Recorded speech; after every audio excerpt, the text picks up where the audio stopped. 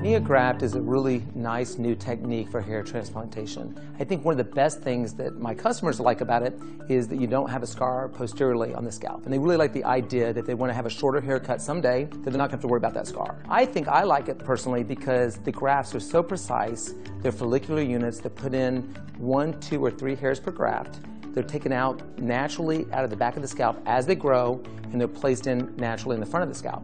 So you get a more natural look with grafts that are sustainable, they grow over the life of the person, you never lose them, and you can do this with no scar posteriorly. And I think that's a big selling point, a big winner for my patients. Hair transplantation works great for men and women.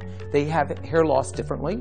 So women tend to more get a global thinning of their hair. They almost preserve the hair in the front a little bit, whereas men get more recession of their hairlines. They may get temporal recession. It starts to thin in the frontal area. Or even more so, what's bothersome to my patients is they hate the thinning on the top of the head. It really drives them crazy. And NeoGraft is a simple and straightforward way to, in a very sort of minimal recovery and minimal risk type procedure, give them full growth back in the um, vertex of their scalp.